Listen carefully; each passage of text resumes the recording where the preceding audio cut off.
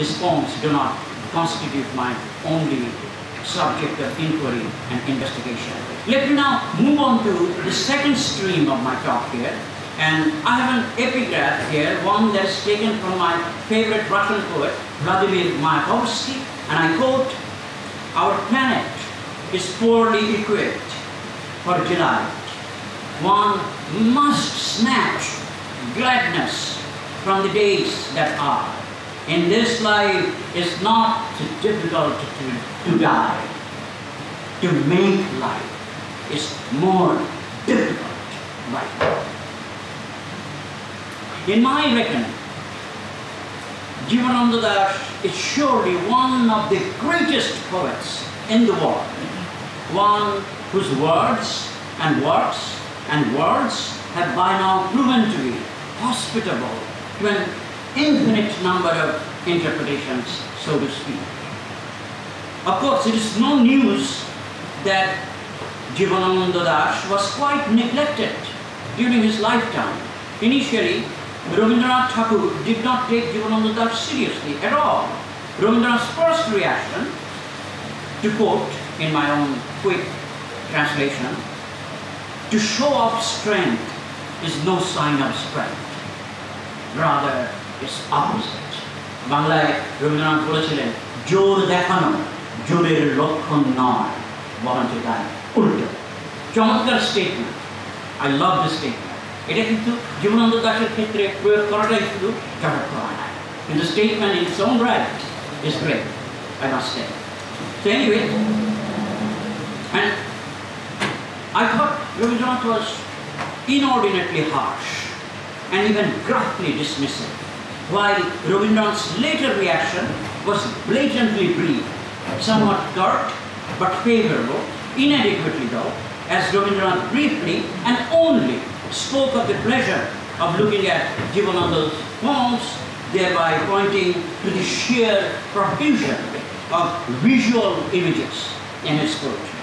Even Qazi Nazrul Islam, my all-time favorite poet, went to the extent of making fun of Jivananda Das, saying something to this effect, for Jivananda, metaphor is more important than mother. একটা কথা ছিল এইরকম বলেছিলেন নজরুল ইসলাম ব্যঙ্গ করে যে জীবনানন্দ দাস তো উপমা ব্যবহার করতেন। এই কথাটা বলা হয় উপমাই কবিত্ব তাই তো? তো উপমা তো সেটা হচ্ছে যখন আবুল হোসেন তাকে তার অ্যাটেনশন নজরুলের দৃষ্টি আকর্ষণ করছেন জীবনন্দ দাসের কবিতার বিষয়ে, তখন নজরুল ইসলাম বলছেন, ও জীবনন্দ দাস উপমা। তার মনে হচ্ছে মায়ের চেয়ে ওর কাছে উপমাই বড়। এইভাবে তাকে হাস্যরস করে অনেক ডিসমিস করছে ভেরি স্যাড তো এনিওয়েজ তো among his most notable contemporaries known as the great modern of the of the of the thirties সাথ সাথ Buddhadeb Basu Sudhindranath Datta, Amiya Chakraborty, and Bishnu Dey, it was only Buddhadev who cared to read Jivananda Das and evaluate his work to the extent that he could. But I would still argue, I would still argue that his deep sympathy for Jivananda Das notwithstanding, even Buddhadev, by calling Jivananda Das the Nirjanatama Kavi, or the loneliest poet, in my bad translation, admittedly, I am nowhere near Professor Fakrul Alam. So, ultimately failed to do justice to Jivananda Das's otherwise staggeringly, mind-bogglingly wide-ranging poetic oeuvre, say from his first collection of poems called Jhara Palo, published in 1927, and his Dhushor Pandulipi, published in 1936, to Bonlata Shen, published in 1942, and Mohaprithvi, published in 1944, and Shakti Tarar Timir, published in 1948, to Jivananda Dasher Sreshta Kavita, published in 1954, to his posthumous collections, such as Rupushi Bangla, published in 1957, and Bela Obela Kalbela, published in 1961. Now, following Jibanananda Das's death, however, there has been an incredibly prodigious, phenomenal explosion of critical works on him. Countless essays and numerous books have already been written about his work, about particularly, if not exclusively, his poetry. Well, of course, Jibanananda Das has proven to be an unshakable, undeniable, visible or invisible, direct or indirect influence on subsequent generations of poets.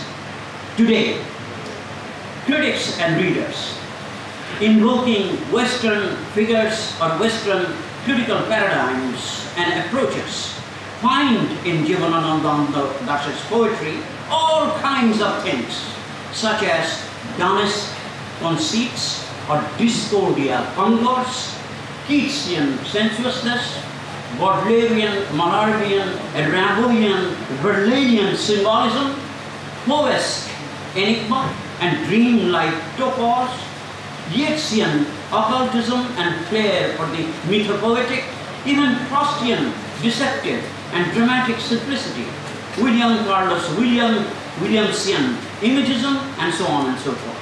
The kind of synesthesia, or what I wish to call intersensory experience, that the French poet Baudelaire memorably and famously speaks of in his deeply aestheticized and perfectly crafted sonnet called Correspondences, or even Rabindranath Tagore himself speaks of on somewhat different registers, is, is always already exemplified in the work of Jibanananda Das as the critic Alakranjan Das Gupta once pointed out, and rightly pointed out.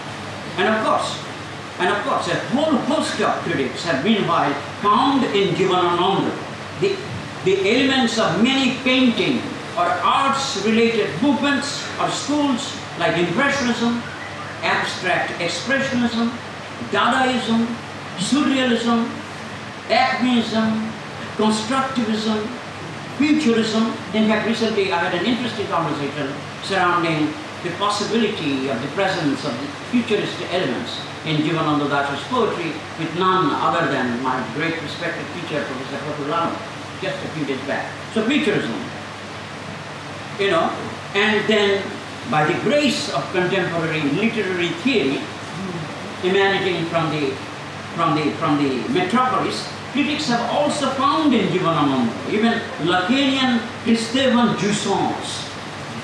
Jouissance, and playfulness, and sur-le-droit are under erasure, Bhabhaian hybridity, and even mimicry, and of course, anti-modernist modernism or even postmodernist elements. The list I have hitherto provided here, rather deliberately but quickly, is by no means exhaustive. But it is intended to convey a sense of the bewildering textuality and intertextuality of Jivananda Das's work that all kinds of critics have by now pointed out one way or another. And just this morning I had a conversation with Professor Fakrul Alam again. I just can't resist mentioning him repeatedly here. This is very relevant to my project.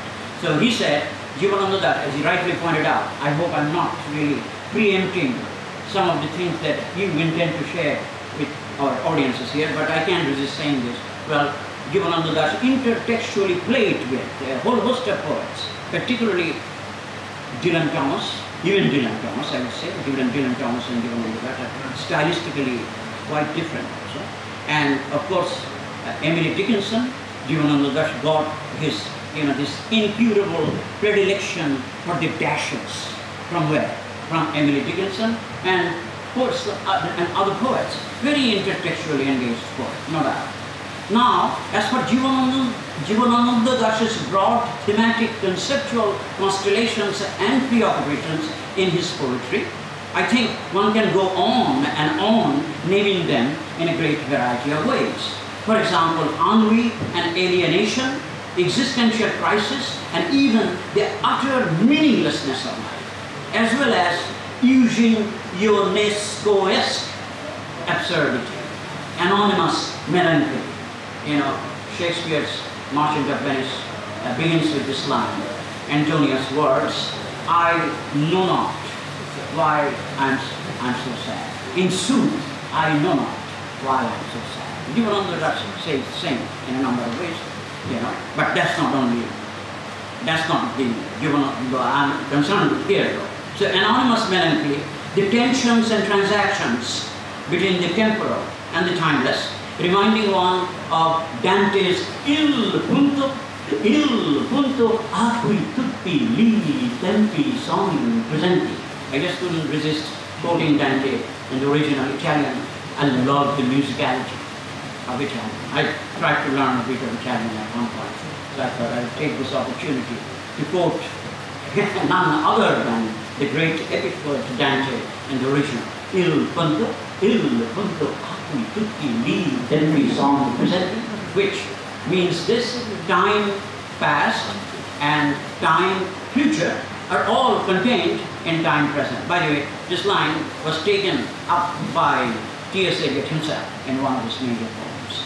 But anyways, so I was talking about, you know, the, the, tensions and transactions between the temporal and the timeless in Jivananda Das's poetry. And then you have, in his poetry, the metaphysics and the physicality of language and love, the beauty of Bengal's face or nature over determined ecological consciousness, feminist toil, and the pitfalls of man's feminism. And also the question of the Tao of nothingness, prehistory and history and geological time, geographical, cartographical imagination, even the subject of ideational mystification and obfuscation as can be particularly, if not exclusively, exemplified in his great but relatively unknown poem called Timir Shurje. War and peace, nocturnal romance, the death of romance as well, social conflicts, deep nostalgia, কুড়ি বছর আগে কি হলো the corruption and hypocrisies of middle class politicians and businessmen, moral decadence in contemporary society, deadly pessimism, yet sunlit optimism mark such lines as জীবন তবু নিরালক হয়ে রবে কতদিন জীবন তবু নিরালক হয়ে রবে কতদিন কতদিন হতে থাকে From his interestingly titled poem called অনেক মৃত বিপ্লবী স্বর্ণ And even the question of revolution as a theme, it is not only interesting but also suggested that Jivananda Das has used directly in his poetry the word biplab or revolution more than a hundred times from say at least Mahaprithvi to Shakti Tibir to Vela Ovela Kalvela, not to mention numerous poems discovered after his death. In any event, one can easily see that poetics, politics, and philosophy profoundly intersect in the poetic spaces forged with boundless energia and elan and eclat by Jibanananda, whom I cannot but compare to the greatest Latin American poet, Pablo Neruda. Their different locations, traditions, and stylistic signatures notwithstanding. Now, I'll make some more general observations quickly about Jivananda Das before I take up my own particular concern which has to do with a relatively unheeded area of Jivananda Das's work. True, Jivananda Das has most effectively and influentially shaped the idiom of Bengali poetry, modern Bengali poetry, while his persistent concerns with the entire range of places and peoples. By the way, I've been given 30 to 40 minutes. I will try to stick to it. If you get bored, I, th I think you might get bored. I have that in mind. It's time thing. So, uh, while his persistent concerns with the entire range of places and peoples and seasons of his own land fiercely bespeak his, his anti-colonial rootedness, of course, is possible to speak of the post-colonial Jibananandas, to put Jibanananda in the plural, like the post-colonial Shakespeare's, the Marxist Shakespeare's, the post-colonial Jibananandas, underlining his brand of poetics that challenges Eurocentrism at every turn. Indeed, Jibanananda's relentless explorations of the historical and the unconscious, accompanied by his explorations of the various rhythms of time and of different spatial contours and constellations, have given his poetry the kind of textures and vectors and balances, as well as stylistic range and flexibility that were totally unknown before him. Totally unknown. And despite their many differences, Jibanananda, like Pablo Neruda, offers the kind of poetry that responds to, now I quote Neruda here, the mandates of touch, smell, taste, sight, hearing, the passion for justice, sexual desire, a consummate poetry soiled by the pigeon's claw, ice-marked and tooth-marked, bitten delicately without sweat drops and usage, while always marking, I quote Neruda again, the sumptuous appeal of the tactile. Unquote. But, here's a but, but could a poet like Jivananda Das be concerned with utterly unpoetic, even dully prosaic subjects like budgeting and banking? like inflation and interest, even compound interest, income tax, royalty, commission, agency business, indenting business, share market, life insurance, the flow of circulation of and thirst for dirty money, the power and magic of money, the bloody exploitation of labor, even what Marx calls fictive capital in the third volume of Capital and the like, in the very spaces of his own poems. আমি তো কবিতার কথা বলছি এখন গদ্যে তো যাইনি কবিতাই করছি Mark them, Jivananda Das's own lines, ones that I feel compelled to quote in the original Bengali here.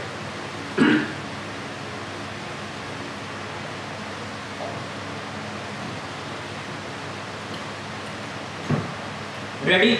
Ready for this one? Committee মিটিংয়ে বসে?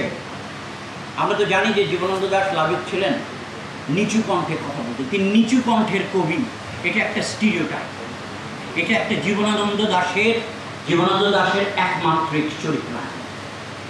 আমি বলতে চাচ্ছি না এই কথা যে তিনি নিচু কণ্ঠ হতে পারেন না।